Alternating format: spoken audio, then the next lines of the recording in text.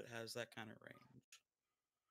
But on the on the topic of the diviner, one thing that we as a group might be able to do is switch to alternate forms to fuck with her divinations. I don't know if that would work, and we could try and test it, but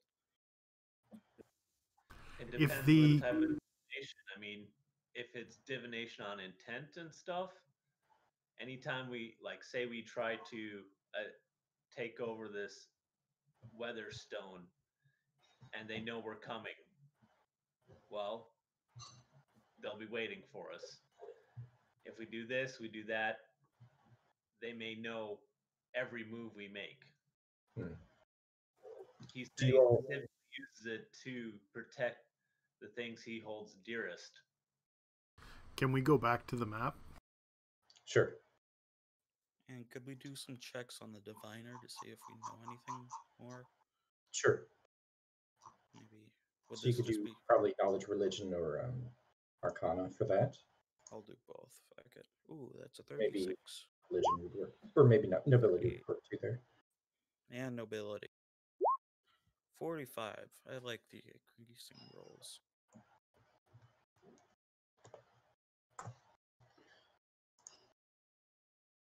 All right.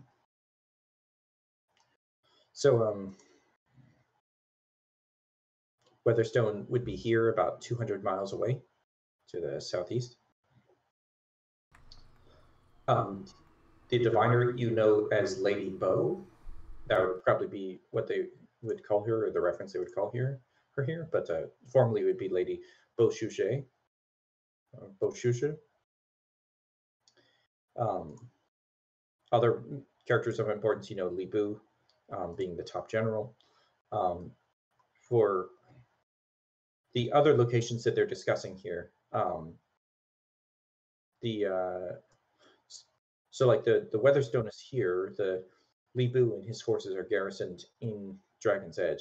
The Diviner, you believe, is back with Yuan Shu in the capital.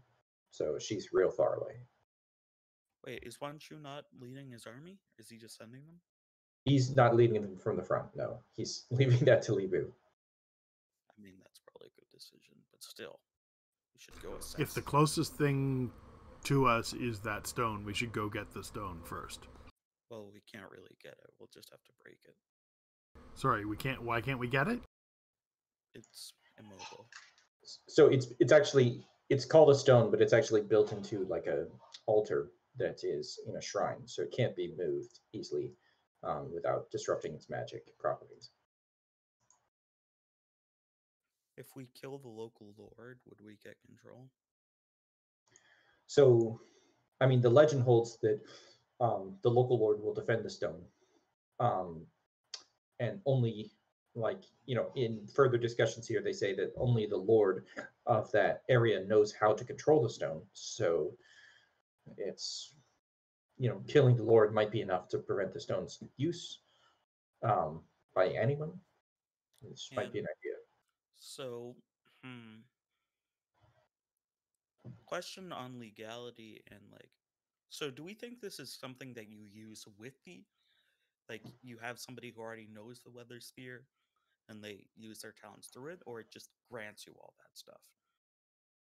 Well, you don't really know. Yeah, there's not a lot of good knowledge about the stone. It's never been used in a war like this before. It was just an oddity, like you know, warnings. Hey, don't go mess with that storm. It'll summon us like that stone. Don't go mess with it. It'll summon a storm, and a knight will come out and kill you. Like, We have this nuclear bomb here, don't touch it. yeah. So, who decides who the lord is? Um, you're not sure. Um, it sounds like they, they were probably given their position by the last shogun or of the region or the empress, like any of the titles that are like of nobility that are granted. Manu raises his hand.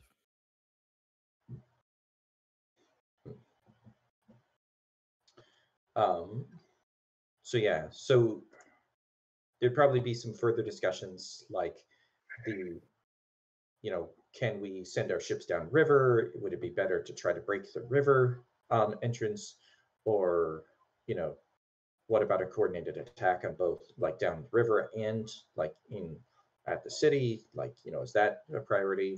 Where their supply lines? You know, you expect that most of their supply lines are safe on the other side of the border, but you don't know for sure. Especially once they start moving out to attack the city, they'll have to, you know, probably presumably use some some local supplies.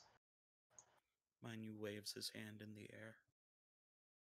So Sun Suebo would be doing his uh trying to do his diplomatic mission, probably going to here. Um Colomir and his knights would be offering to engage um Li Bu in battle. So they offer to be the vanguard essentially to meet him face on if such a conflict is inevitable. But um after waving his hand in the air a while, um Sun Mochun will speak up for him. She'll be like, What do you want to say, Min? Well, first off, um, I'm not sure if the diplomatic mission is the best, but anyway, why don't we just name one of our people the lord of this place? After trying to diplomacy with whoever the lord is, that way, that they can't control the stone anymore.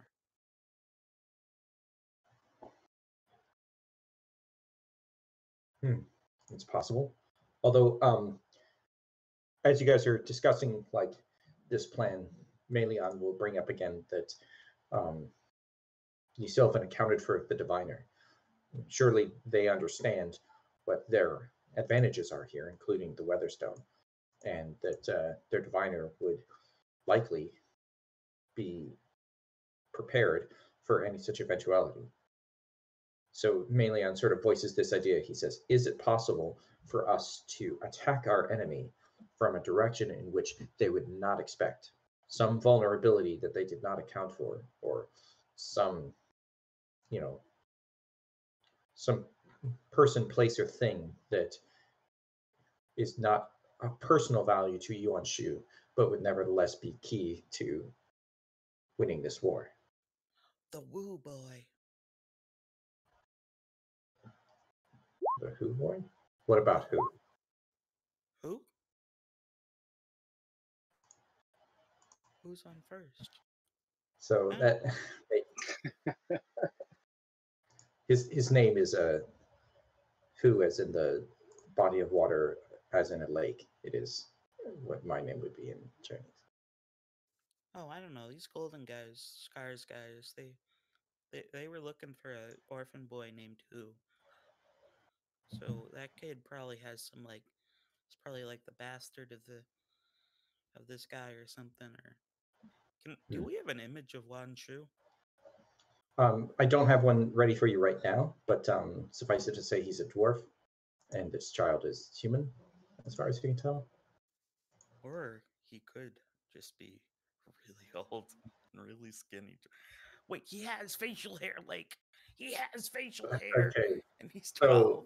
I don't want to get too bogged down in the speculations about this, but um, that does get people thinking that, like, okay, well, what about you know people of personal interest, like, you know, what, who are the members of Yuan Shu's court? You know, what's, you know, tell us more about this diviner. They start talking amongst themselves, and they're like, oh yeah, that's right.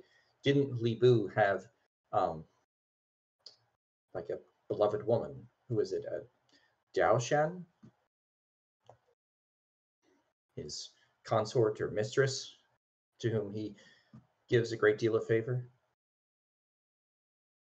Well, that doesn't feel nice to go after the mistress.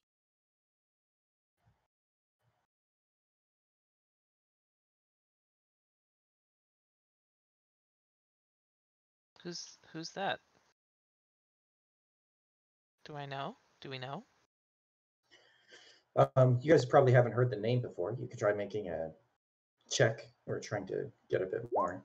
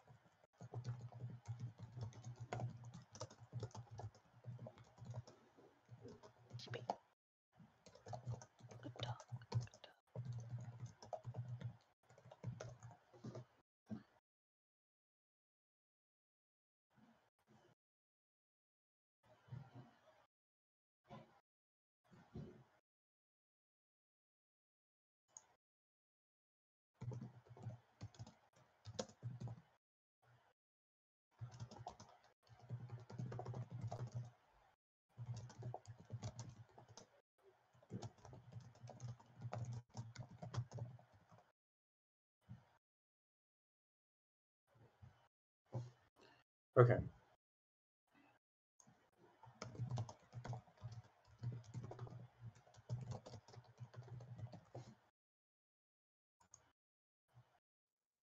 So um, you guys are trying to get a sense for this Diao Shen. She's um. So you um.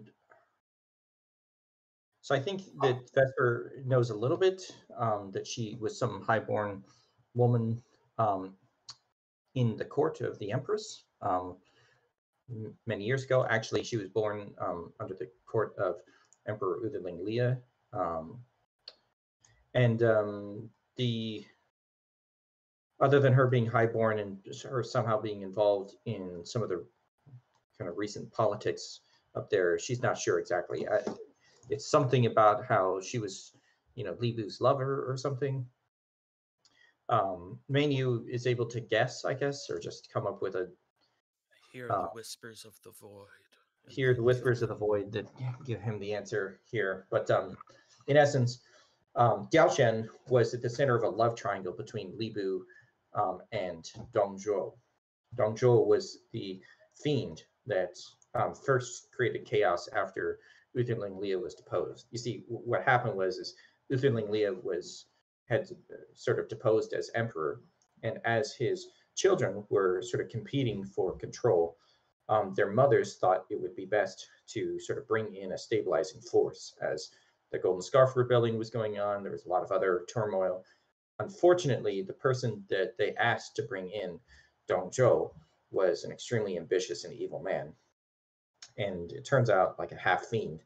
And he basically just completely ruined the empire and tried to declare himself emperor. So when um, Yuan Shu formed the first coalition to defeat Dong Zhuo, that's the one that um, like these leaders were talking about here, that they were basically part of that coalition, that they had all joined together to defeat Dong Zhuo, but they actually failed. The coalition kind of broke apart in infighting, largely because of Yuan Shu being pretty evil himself and lots of other issues. But uh, ultimately, Dong Zhuo was killed when um, he was betrayed by Li Bu. Li Bu um, loved Dao Shen, and Dong Zhuo tried to take Dao Shen, and one thing led to another, and well, Li Bu killed the uh, Dong Zhuo with his own sword. Um, so that sort of led to the eventual fall of his regime and um, their base of power. And Li Bu kind of went, um, became like a free agent after that, supporting various local factions and betraying them. And at this point in time, he's basically betrayed everyone, um, all the major powers at least once, including Yuan Shu. Um, so he's betrayed them and come back into his service once again. So nobody trusts Li Bu, but the one person they know that Li Bu cares about more than anything else is Dao Shen.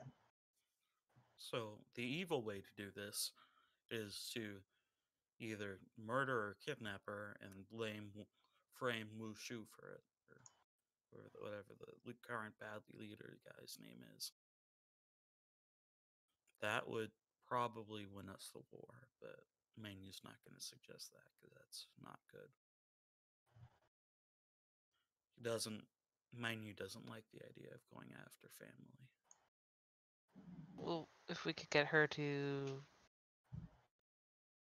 join us willingly, maybe she can convince Li Bu to turn on Yuan Shu. That is a good idea. I like that idea. Um. Yeah. I do we know her current location? Well, presumably she would be kept with Li Bu somewhere close by. So if Li Bu is in Dragon's Edge, presumably she's there too. So, I mean, I don't think But he's not going to bring her into battle, right? You don't think so? But So when he leaves the city, he'll probably leave her behind. well, probably. could, she could stay with the army though. That like army wives are sort of a thing. But yeah, I mean that I like the idea of trying to convince her. Um, I I don't think the idea of beyond mind you like finding it detestable. He doesn't really like the idea of. Well, I don't. I feel like going after her in any other way will probably end badly. That's just my gut instinct. All right. Well, they've gotten more or less to the end of their war council meeting. They're starting to sort of assign tasks or delegate various responsibilities. So they um One thing. Yes. Um, did the Sun Suevo accept the invitation to the collective? Um again he would have probably rejected the first few times, but if you kept insisting, he I will poke him until he does accept. now. Um, I don't wanna. Uh, are you sure you going on that diplomatic thing is a good idea? well, I am half dragon. The dragons should respect that. But if they don't, or like demand a proof of strength or combat or something, you know. This I would be speaking with the eldest and wisest of the dragons in the region, one whose honor is um, among the most vaulted in all the land. I do not suspect that he would betray me if I requested a meeting in the proper and formal way.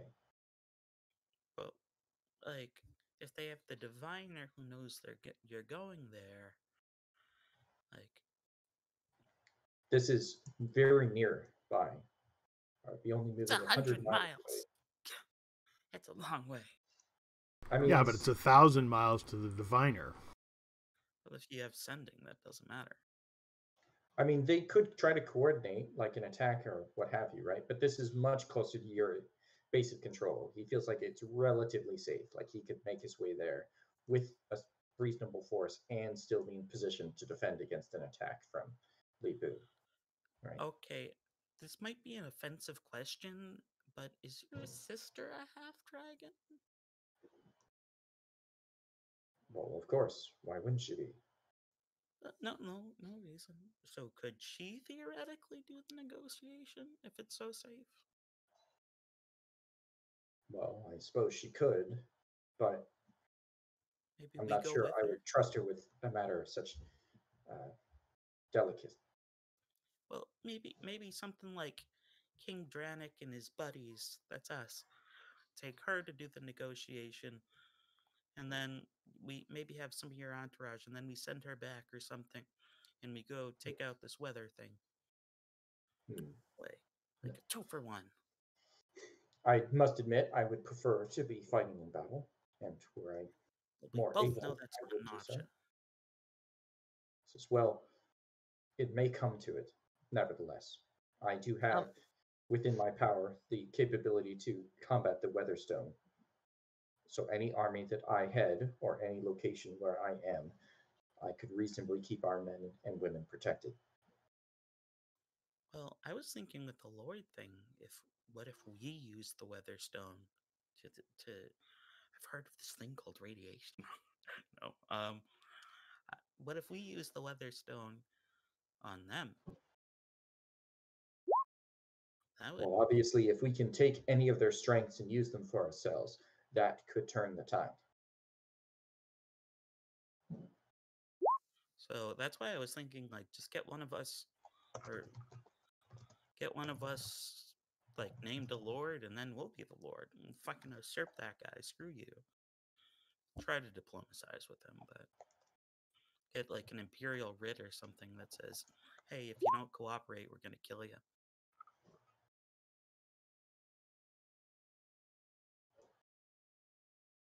Maybe not kill you, but we'll take away your territory and all that. Hmm.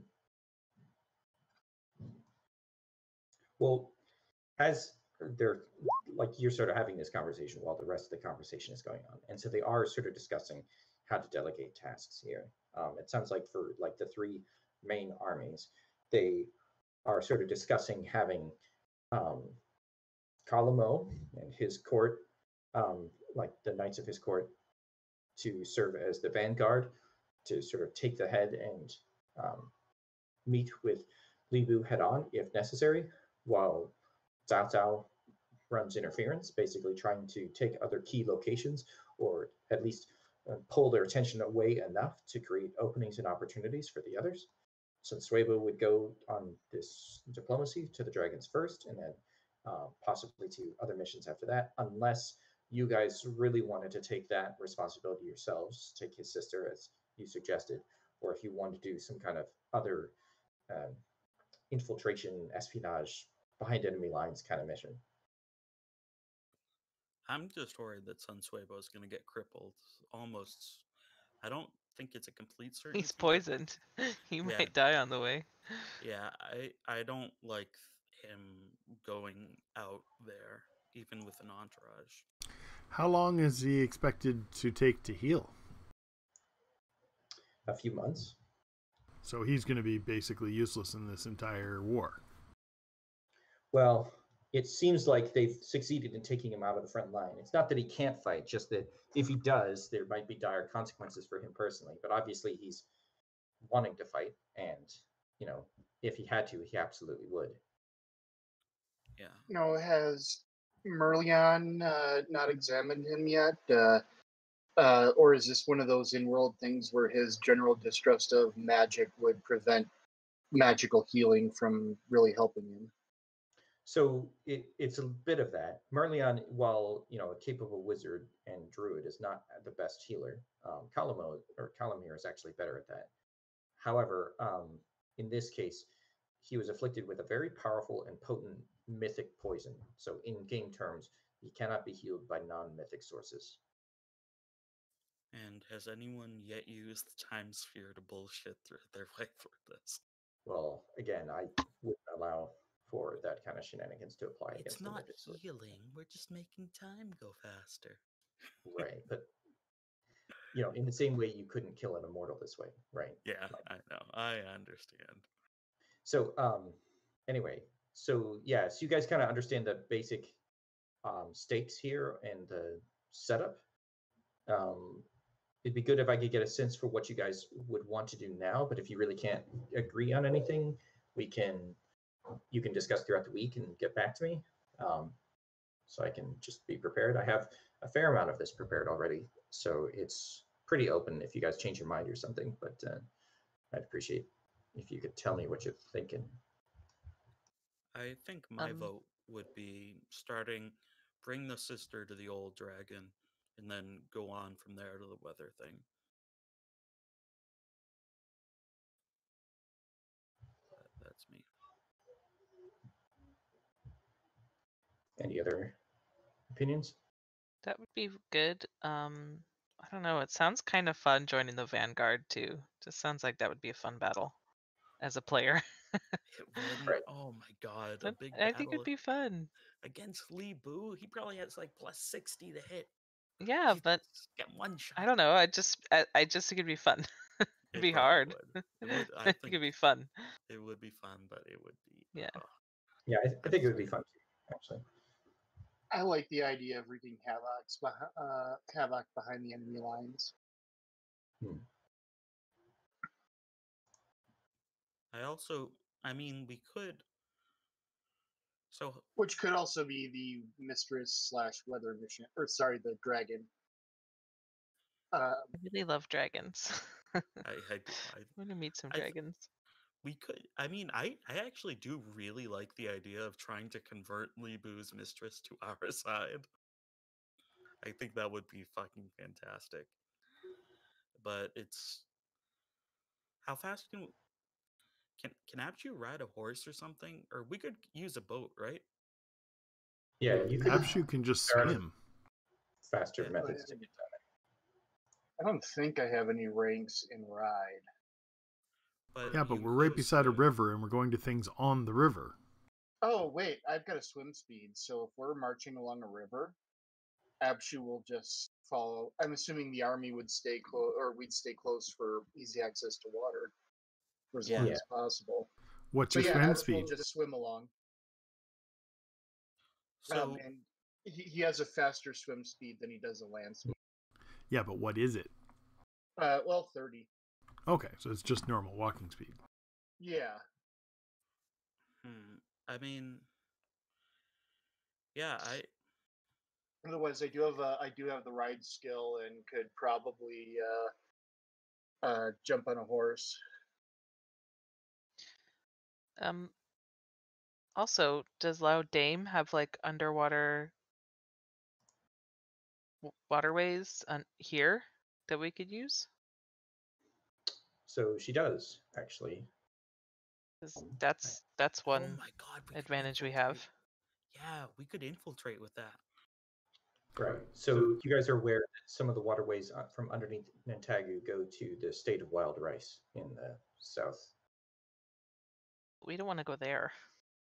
Around around where we're going. I mean that that bypasses the border though. So could I- So, I mean, if you really talk to Lady Laudane, she could tell you that um, technically there's a there is a waterway that leads to this well. But even contacting her is going to be weeks of messaging and It's true. traveling and stuff. Like we, if we know the map and we can immediately go and use it, that's great. But just traveling to that starting point in the mountains is It's gonna days of travel. Like yeah. It's So the fastest route to cross the border would, of course, be to go through the city of Dragon's Edge, right? Um, I mean, they're accepting refugees to go through the city. I suppose you guys could just try to walk up to the front door and knock. But uh, the funny thing is, I wouldn't have any trouble passing as a refugee, but the the wall and the city wouldn't represent any real challenge for me to bypass. Well, it might. yeah, I mean, it depends on exactly what their defenses are, right? I mean, the people here are acting like it's pretty secure, so I mean, maybe. Yeah, but that's not. hundreds of Correct. miles of wall. Like, dragons. yeah, Yeah. sure, but a dragon can only see a mile. They have a hundred dragons guarding that wall. No, they do not have a hundred dragons. You're right. then it is there a isn't a dragon every mile, so the dragons can't always see you. I just want to say this is the same argument you made when you went through the goblins, and Yeah, and it's the same outcome. If Lake just gotta- arbitrarily decides I can't do it, then I can't do it. I mean, no, I mean it is totally possible. You guys could just like assault a section of the wall or climb up or sneak past or something.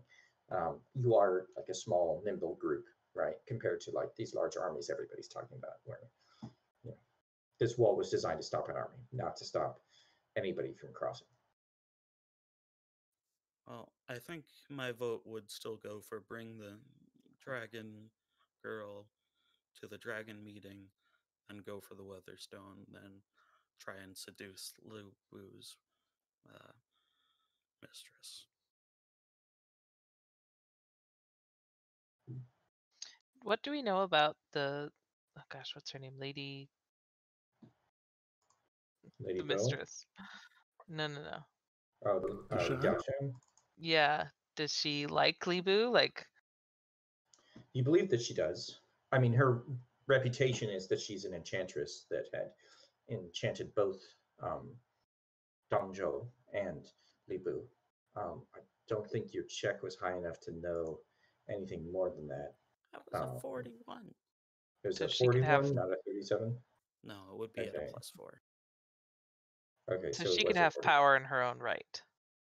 Yeah, so you believe that she is an enchantress, um, and that the real story behind this is that she was explicitly to- put on this mission by her father.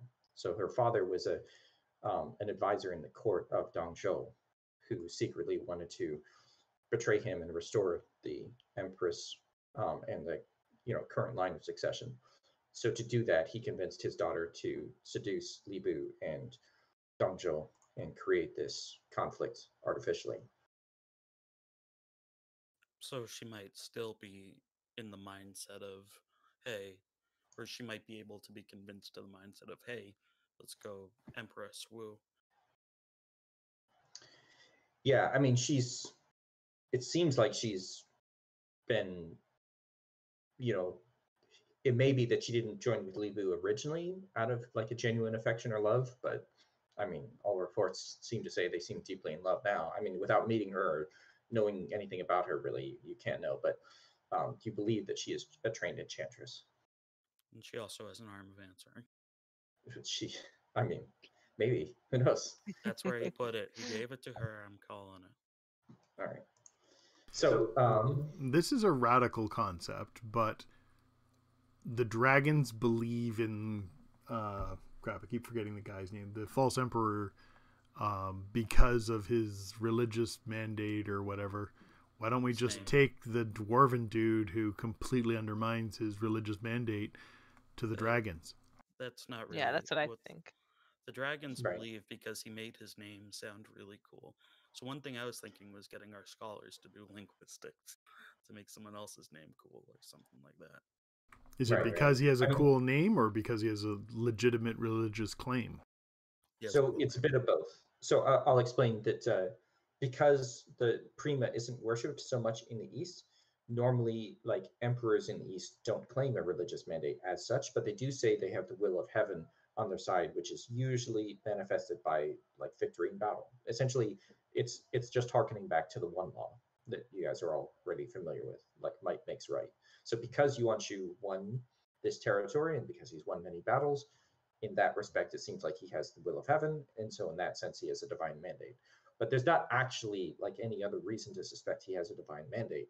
Um, like Cao Cao said, he has some of the regalia and symbols of office. It sounds like he essentially stole some of like the, you know, the symbols of the emperor and the empress. Um, so that gives him a little credence of like claim of legitimacy, and that his name just happens to like sound very legitimate is helps, and that's you know partly how he staked his claim. But the only real legitimate power beyond any of that is the fact that he descends from the dwarven high kings, which according to the law established in the north and in other places, um, does technically place him in the line of succession if there was like the line of the emperor had fallen and that's essentially what he's claiming has happened that in the all the chaos and aftermath after the um Utherling Liet like abdicated and the you know destruction of the uh, like city in the north the capital in the north that now the divine mandate is with him and he holds all the power. Um the fact that the the emperor has a daughter that survived is not really legitimate in his mind but of course it's a compelling argument for everyone else. So on that topic, one of his tethers to this power is his dwarven descent.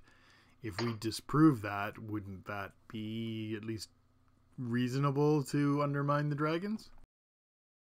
that might be yeah So that seems like the best diplomatic choice. Like I don't care who specifically does it, but if uh, we send the old prince there to say, "Hey, my dad was the king. He's dead.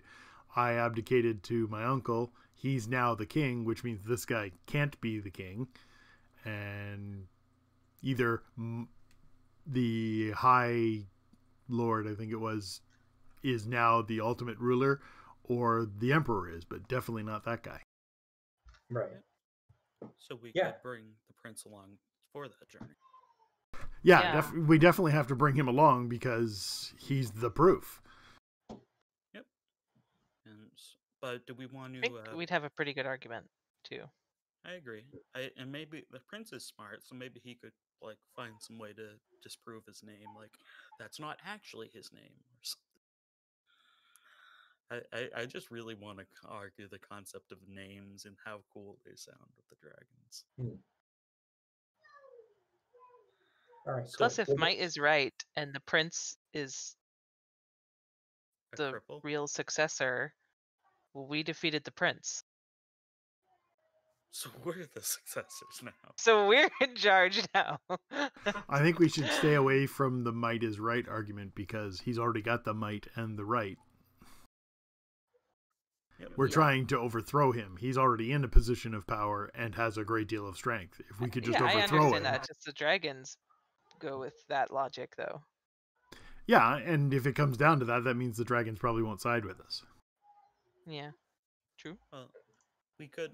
mm, I mean, how do we know what um Sun Suevo's like familial relationship with dragons are is, and if that's like a very important tie? it's relatively important yeah so his father was the shogun um sorry, I have his father's name. Um, well, I think his father's name was Sun Jiang. So Sun Jiang was, was the former shogun, and he was a full-blooded true dragon, an imperial dragon. Um, What's an such, imperial it- dragon? he was sort of considered. It's essentially an Eastern dragon. Um, it's a It's like a gold dragon. kind of like a gold dragon. Yeah, this is a Pathfinder thing. Um, I think I've linked it to you before. Actually. Yeah, no, you as soon as you said it, I was like, yeah, we discussed this last time when I asked. Yeah. So, um, but that does mean that he was considered to be like high nobility amongst dragons, or at least his father was. Now, diluting his blood here, you know, with mortals is considered like distasteful, like in the eyes of dragons, and so he would certainly be a step down from a true-blooded dragon. Nevertheless, um, he's a step up from the rest of you who have no And- dragon blood. Did Lady Wu was Lady Wu involved with Subu or the the bad guy here? Like, is that our suspicion on why she killed this? So you're you're asking if she was involved at all with Yuan Shu. Um, Yeah. so you know that Yuan Shu would have wanted to eliminate Sun Jiang, like in that prior conflict, because they were rivals essentially, right? Um, I mean, Yuan Shu was like well respected amongst the people. and Sun Jiang was respected and feared by the people as a dragon and the shogun.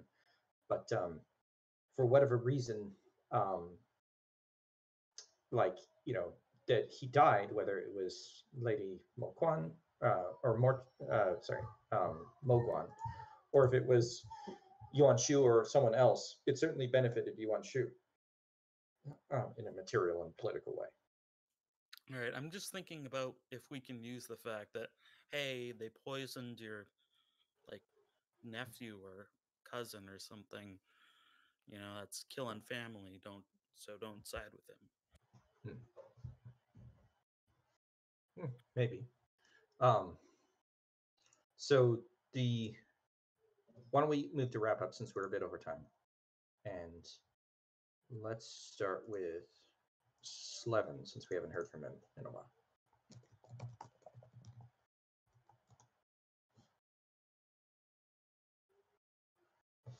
Slevin Dranik. He may be asleep. Um, The gnome is down. Repeat, the gnome is down.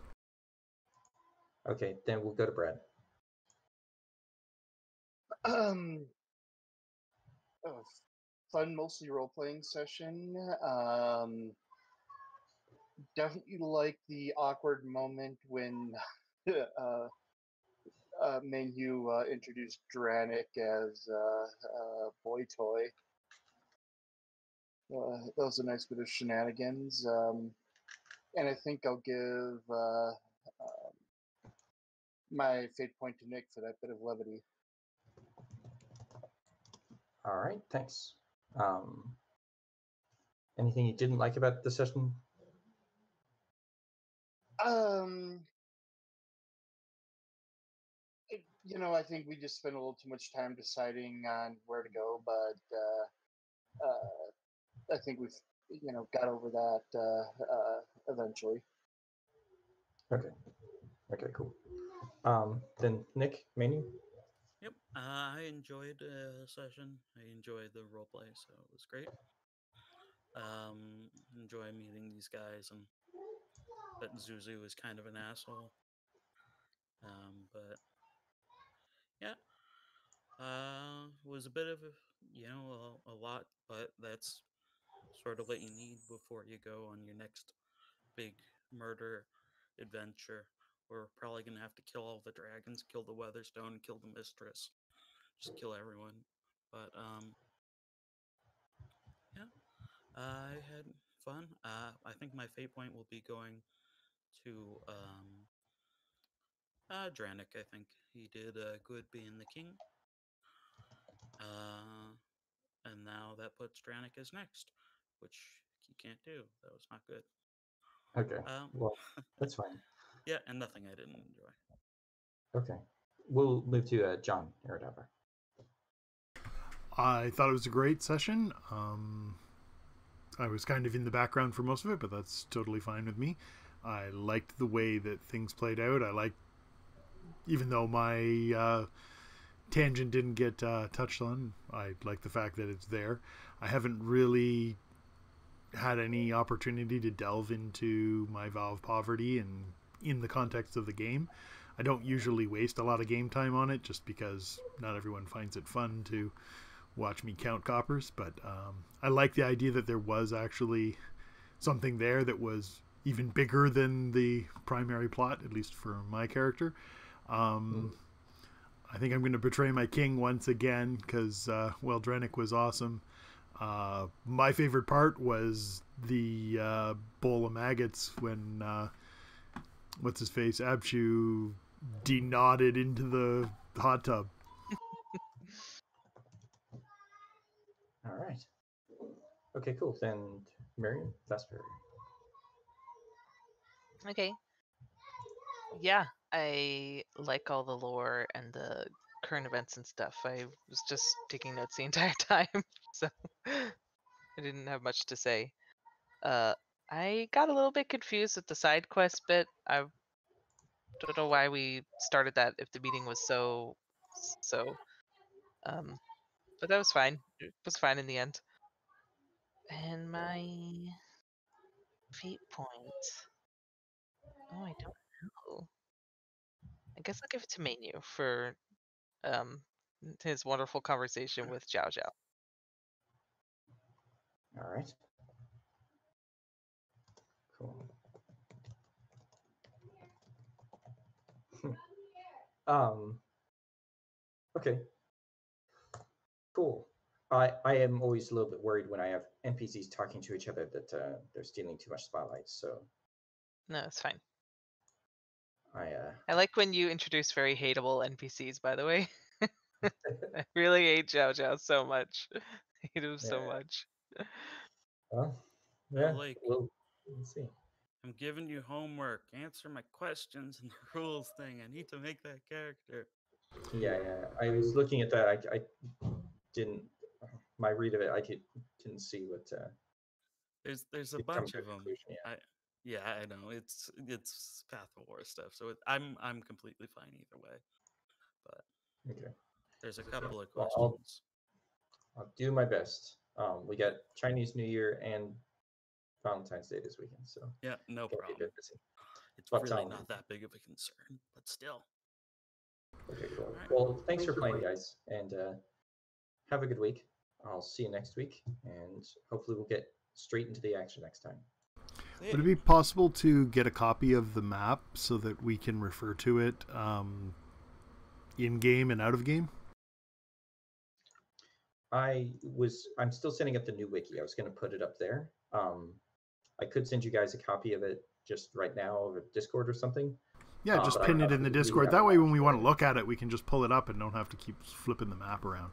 Yeah, that would be good. Okay. All right. Do you Well, have I, a I can also keep it uh, you guys on this during the week if you want to check like just from this map. But uh, Yeah, that would be good. It's mostly just for frame of reference. Every time we were like, "Oh, how far is it to this?" or "Where is that?" and things in relation, because this is a new Yeah, area see- of the map we're not that familiar with. right. So like if I just send you the PNG, you can't see distances, right? This is why I wanted to get the new wiki set up because that would have distances on it and stuff. Um, We don't have a version with hexes enabled. so let me just sorry look for the map.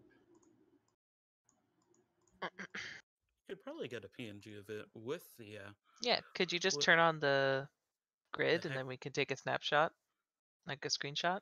although it is really big, so it might that might not work. Well, here I'll turn on the grid for now, and then you guys can um, Screenshot. try to get a sense for it. And it just crashed. Yeah, roll twenty is absolutely terrible tonight. Does the original map have a grid grid feature? Um, yeah, so I can enable the grid in Inkscape if I need to. Um, and my file is too large for Discord. Okay, so we're gonna do it in pieces. And you guys can assemble the map on your end. How's that sound? Oh my god, it's a it's a gri- cross no jigsaw Sounds good puzzle. to me. All right, I'll see you guys next week. All right. Hopefully with new Mind You. I will make a new one and it will be great. All right, bye. bye. Bye. Bye.